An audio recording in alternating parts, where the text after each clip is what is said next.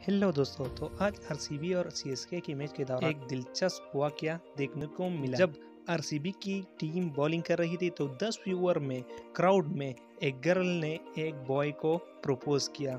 ऐसा काफ़ी बार देखने को मिलता है लेकिन ये कुछ देखने लायक था। जिसके बाद जब विराट कोहली ने भी उसे स्क्रीन पर देखा तो वो भी उसे देखकर मुस्कुराए। तो मजीद अच्छी अच्छी वीडियो के लिए चैनल को सब्सक्राइब कीजिएगा।